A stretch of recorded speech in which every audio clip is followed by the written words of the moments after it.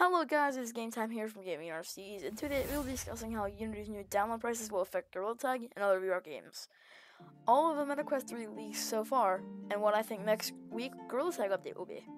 So, if you didn't hear, Unity's going to be charging 20 cents per download on games made on Unity, and there's a lot of drama about it, but it's not as bad as you may think.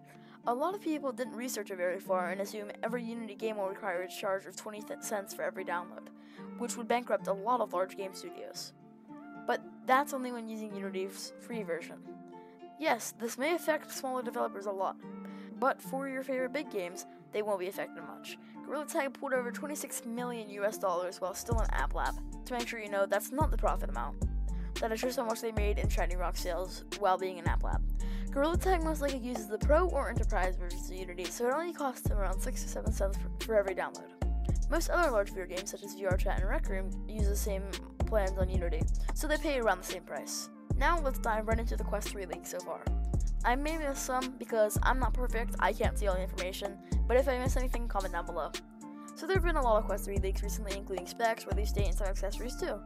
Let's start with the specs and price. The 256 gigabyte model of the headset will be 500 US dollars. The 512 gigabyte model is rumored to be 6 to 700 US dollars.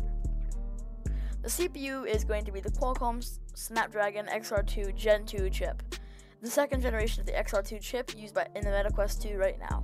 The 256GB model is rumored to have 8GB RAM, with the 512GB model rumored to have 12. The headset will have LCD panels with a 2064 by 2208 pixels per eye resolution. The refresh rate, hertz, of the headset will still be 120 Hz, just like the Quest 2. It will work with all your Quest 2 games, so don't worry. The headset will also have full color pass-through with a depth sensor that'll make augmented reality look even better. Now let's get into accessories. Remember, these are estimated prices because of the leaked prices being in euros or pounds. I don't know which one's which, but I will be using USD because I'm American.